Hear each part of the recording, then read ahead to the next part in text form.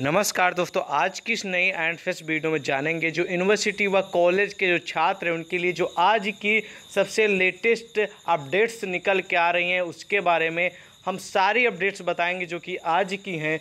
तो आपको वीडियो को पूरा देखना होगा, जिससे आप लोगों को सही और सटीक जानकारी मिल सके। हो सकता है आपकी यूनिवर्सिटी से हो अपडेट और आपको जानना भी ज़रूरी हो तो इसलिए आप वीडियो को ध्यान समझिएगा। डे बाय डे बाय जिस भी यूनिवर्सिटी से जो भी अपडेट आती है, हम आप तक पहुंचाते ही रहते हैं। इसलिए आप हमारे चैनल से जुड़ सकते हैं। चलिए बिना देरी के पहले बात करते हैं सबसे पहली और बड़ी अपडेट की। इस वीडियो में तीन से चार बड़ी अपडेट हैं अलग अलग यूनिवर्सिटी से तो हम एक एक करके सभी पे ध्यान देंगे। पहले बात करते हैं सबसे पहली बड़ी अपडेट की ओर। ये जो आ रही है, आपको बहुत ही इंपॉर्टेंट है, क्योंकि मैं छोटी से बड़ी सारी न्यूज़ आप तक प्रोवाइड करने की कोशिश करता हूँ। जो पहली बड़ी अपडेट है वो अलाहाबाद यूनिवर्सिटी के छात्रों के लिए है। या इससे समृद्ध जितने भी कॉलेज के छात्र हैं इलाहाबाद के, ठीक है, उनके लिए इंपॉर्टेंट है।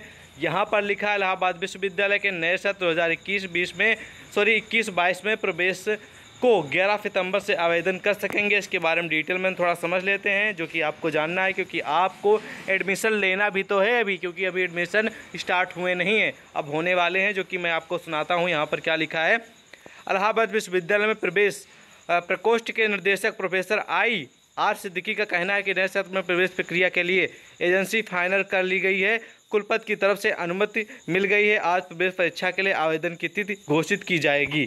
ओके, और इसमें लिखा है कि इलाहाबाद केंद्रीय विश्वविद्यालय में नए सत्र में दाखिले के लिए 11 सितंबर से छात्र छात्राएँ ऑनलाइन आवेदन कर सकेंगे। आवेदन की अंतिम तिथि तीन अक्टूबर तय की गई है। प्रवेश परीक्षा अक्टूबर के दूसरे सप्ताह से कराई जाएगी। ठीक है, प्रवेश परीक्षा अक्टूबर के दूसरे सप्ताह से कराई जाएगी। प्रवेश परीक्षा प्रयागराज के अलावा लखनऊ, वाराणसी, कानपुर, गोरखपुर, बरेली, आजमगढ़, पटना, भोपाल और नई दिल्ली में आयोजित कराई जाएँगे। यहाँ ऑनलाइन और ऑफलाइन दोनों बोर्ड में परीक्षाएँ कराई जाएँगी। हालाँकि बेंगलुरु, कोलकाता, हैदराबाद, गुवाहाटी, जयपुर और और जो तिरुवनंतपुरम में यह प्रवेश परीक्षा ऑनलाइन मोड में ही कराई जाएगी। हम आपके जानकारी के लिए बता दें, जो भी इलाहाबाद से जुड़े, केंद्रीय विश्वविद्यालय से जुड़े जितने भी कॉलेज हैं, या उससे जुड़े जितने भी यूनिवर्सिटी हैं, उनके जो छात्र उनके लिए खासकर इंपॉर्टेंट बात है ये है कि 11 सितंबर से, ध्यान दीजिएगा 11 सितंबर से आप सभी की जो है, वो आवेदन की प्रक्रिया शुरू हो जाएगी। ठीक है? ग्यारह सितंबर से छात्र छात्र ऑनलाइन आवेदन कर सकेंगे और प्रवेश की जो लास्ट जो डेट है, यानी कि अप्लाई करने की, वो है दो सॉरी इसमें लिखा तीन अक्टूबर तय की गई है। यानी ग्यारह सितंबर से तीन अक्टूबर के बीच ही आप अपना आवेदन कर सकते हैं। ध्यान ध्यान दीजिएगा।